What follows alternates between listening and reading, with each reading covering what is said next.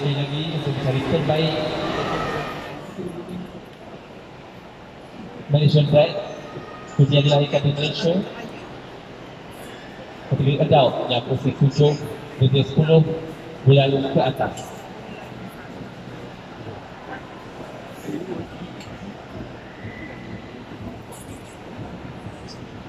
Mewakili kategori 2 kita ada bakal main tool. Dan mewakili kategori 3 kita ada Bengal Alright, best Malaysian bred adult cat.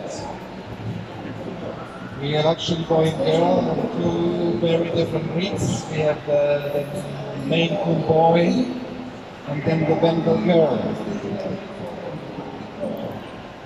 And of course, I like both of them very much because both of them are very beautiful according to their standards. But there is always a but.